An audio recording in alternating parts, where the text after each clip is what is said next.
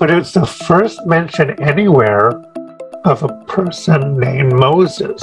So, how could there be all these really systematic parallels? And uh, the other minimalists at Copenhagen, they believed that the Hebrew Bible was written very late. You know, in the Hellenistic era. You started this research about the dates and similarities between Plato and the Jewish Bible. Berossus didn't read the Jewish Bible, but the authors of the Bible could have read Berossus. And it looked like the biblical authors were copying Manetho, who wrote about 285 BC. That event basically took place, but they didn't just translate these books into Greek, they wrote them there.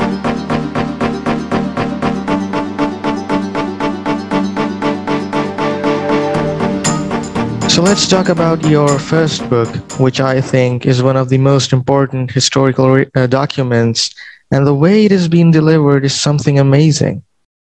Now, this is the question I really wanted to know. So, what is the major reason that you started this research about the dates and similarities between Plato and the Jewish Bible, or dates related to the creation of the Bible? So, what made you look into this portion of history? Um, well, I'm I'm first and foremost a writer. Um, I never aspired to be a university professor. Uh,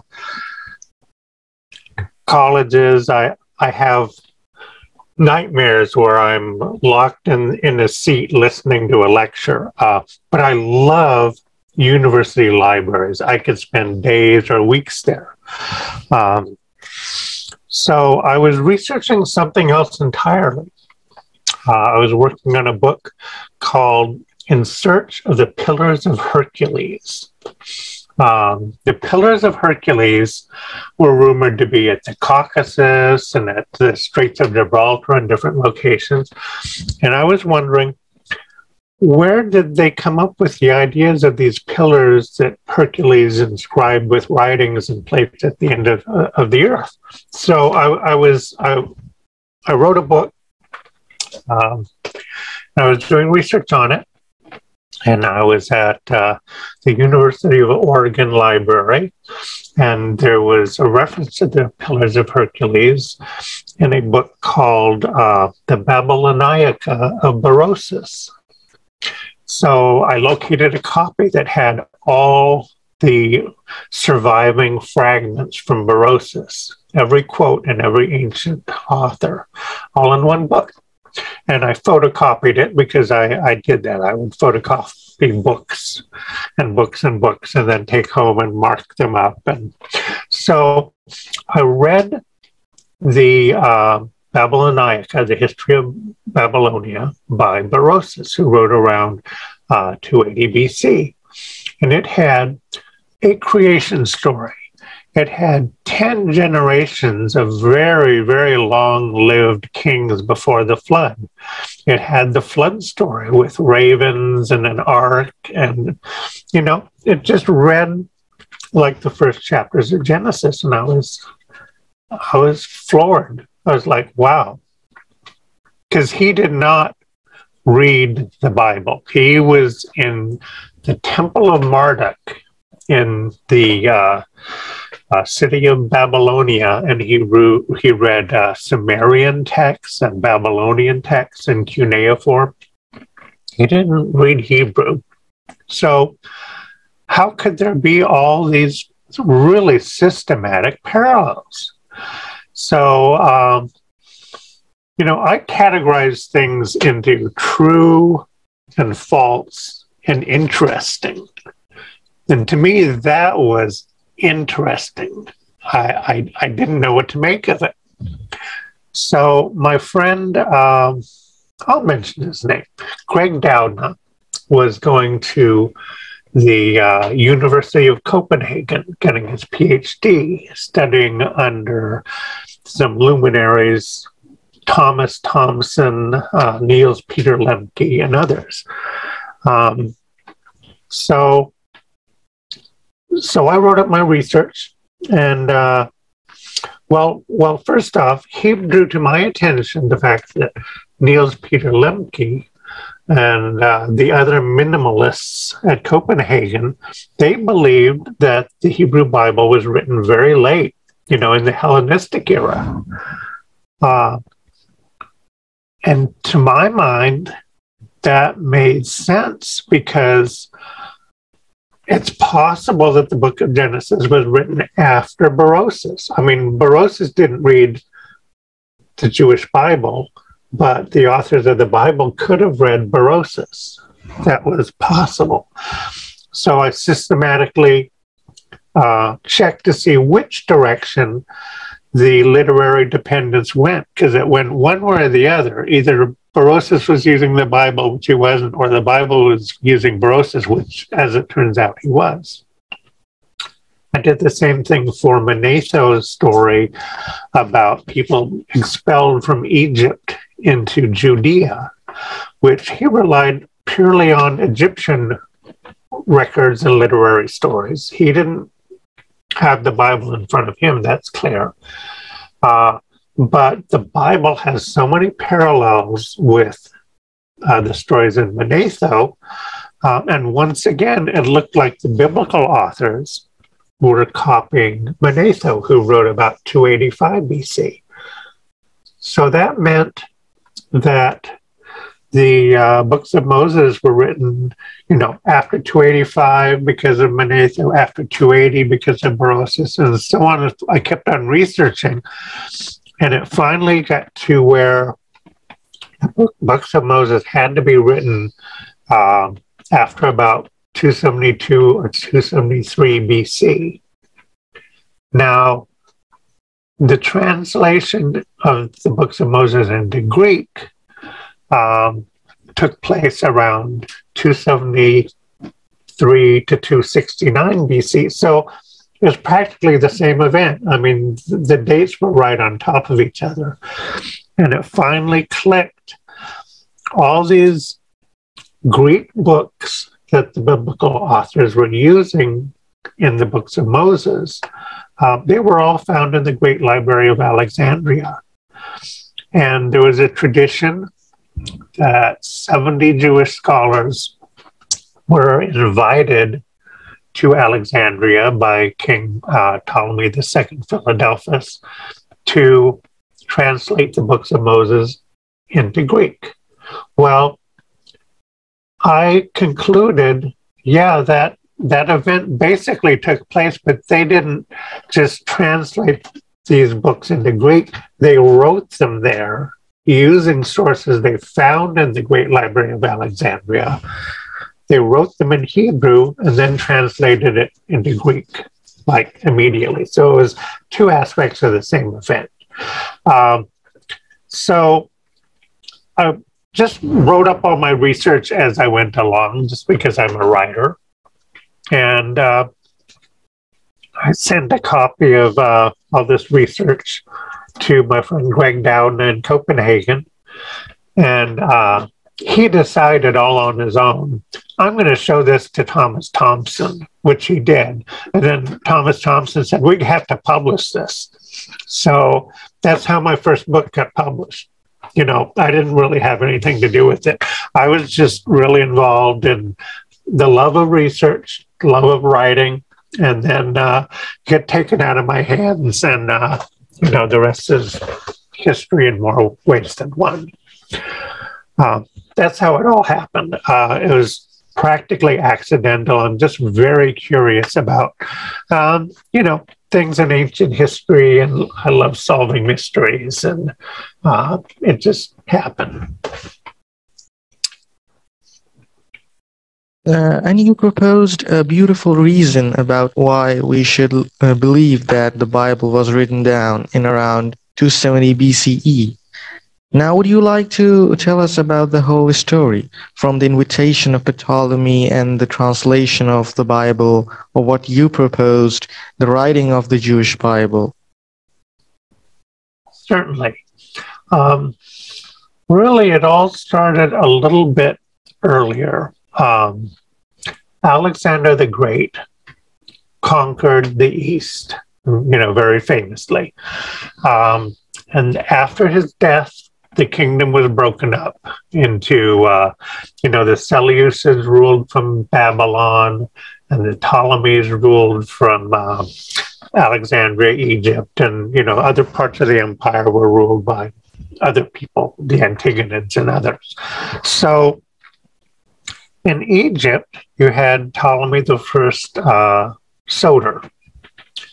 Um, he was the first king of Egypt. Uh, he was one of Alexander's generals, and uh, he had this uh, vast empire to rule, um, which he didn't really know much about. So there was a gentleman named Hecataeus of Abdera, uh, who was a Greek, he traveled to Egypt and he wrote a, he wrote a book called the Egyptica or the History of Egypt, where he talked about the Egyptians, their customs, their laws, their history, everything.